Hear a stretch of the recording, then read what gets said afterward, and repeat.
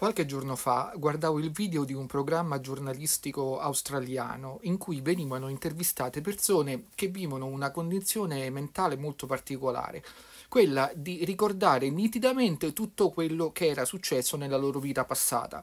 Bastava dire un giorno anche di 20 anni prima e loro erano in grado di dire esattamente quello che era successo. Sembra una cosa fantastica ed alcuni trovavano questo dono entusiasmante, ma io in realtà penso che sia abbastanza triste e che dovremmo fare tesoro di un altro dono che alla stragrande maggioranza delle persone è stato concesso, quello di dimenticare. Già, perché chi ricorda tutto ricorda anche le cose tristi della sua vita che, come diceva una delle persone intervistate, non si riescono in questo modo mai a superare. Noi desideriamo che Dio non si dimentichi mai di noi e per coloro che ci credono, se Egli è veramente Dio, sappiamo che questo non lo farà mai.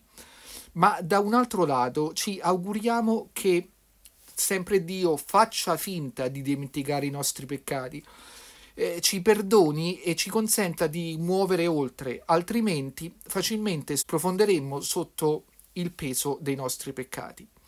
Il poter dimenticare ci aiuta a vivere più agevolmente. La cosiddetta memoria selettiva rende più agevole il nostro percorso terreno. Tendiamo a selezionare i ricordi lieti e questo ci aiuta a portare il peso di una esistenza che spesso è complicata, a volte diciamolo anche molto difficile. Lo scrittore Ambrogio Bazzero chiama i ricordi la tisi dell'anima e spesso essi, quando sono negativi, e non riusciamo a farne a meno, ci portano una inquietudine che non fa bene. Un altro scrittore, Mario Rigoni Stern, dà un consiglio interessante sui ricordi quando dice i ricordi sono come il vino che decanta dentro la bottiglia, rimangono limpidi e il torbido resta sul fondo. Non bisogna agitarla la bottiglia ma a volte, anche non volendo, contravveniamo a questo consiglio interessante del grande scrittore e la bottiglia viene agitata e certi ricordi riaffiorano.